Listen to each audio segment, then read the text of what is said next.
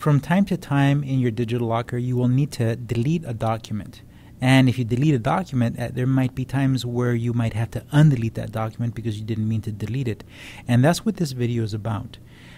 I have a document here. I have this Go uh, Gaggle logo, and I don't need this document. So what I'm going to do is I'm going to go ahead and delete it. Now to delete this, on Windows you can right click on this icon. On Mac you can press Control and click on it. And when you do, you'll get this contextual menu. And one of the options here is to delete this file. So I'm going to go ahead and click on delete and it will erase it or remove it from my digital locker.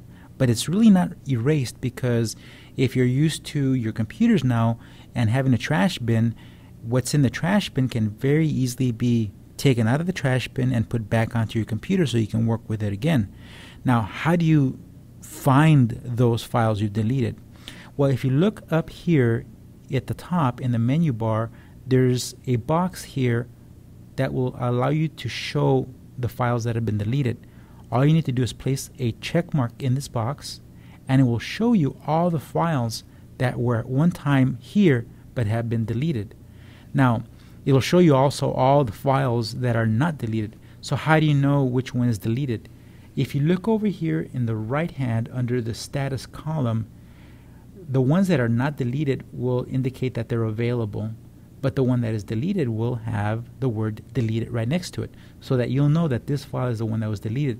So to undelete this file and to put it back so that you can work with it, you'll come over here to the file and on Windows you'll right click, on Mac you'll control click and from the contextual menu that appears you'll come here and you'll select the undelete option. And that will undelete the file and as you can see over here in the status it is now available.